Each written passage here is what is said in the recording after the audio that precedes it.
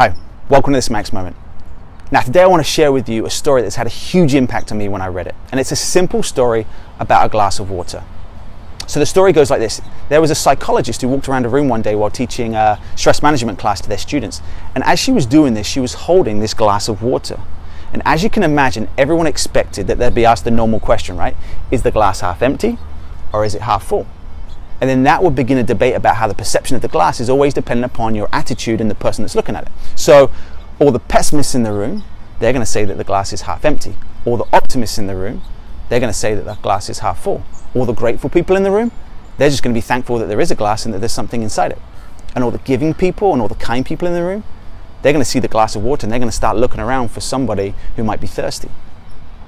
But instead, on that day, with a smile on her face, the teacher inquired to the class this. She asked them, How heavy is this glass of water? Now, answers blurted out from 8 ounces all the way up to 20 ounces and everything in between. But what the teacher applied was this, and it changed my life forever. She said, The absolute weight of the glass doesn't matter, it depends how long you hold it for. So if you hold the glass for a minute, it's not a problem. If you hold the glass for an hour, you can have an ache in your arm. But if you hold the glass for an entire day, your arm's going to feel numb and paralyzed. And in each case, the weight of the glass doesn't change, but the longer you hold it, the heavier it becomes. And so she continued on. She said, The stresses and worries found in life are like that glass of water. If you think about them for a little while, nothing happens. If you think about them a little longer, they begin to hurt. And if you think about them all day long, you're going to feel paralyzed and incapable of doing anything. So for me, the message that day was clear. It was plain and simple. Put the glass down.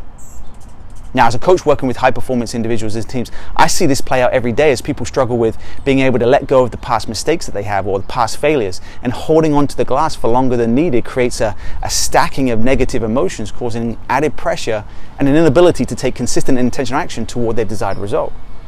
And so, to help these people, and to help them put their glass down, I encourage them to, to focus on three P's. Now, call them the present, positive, process. So, number one, focus on the present. You've got to put down the glass that is full of all of your past failures and all of your fears and all of the future fears because once you put that glass down, then you can begin to get laser focused and invest your time and energy into the one block of time that you have total control over. And that's the present moment. Number two, focus on the positive. You've got to start by putting down your glass that is full of all the negative thoughts about all the things that are holding you back and all the things that you're trying to avoid in your life. And once you do, and you put that glass down, then you can focus on all the positive things that you want to attract into your life and all the things that you want to create in your life.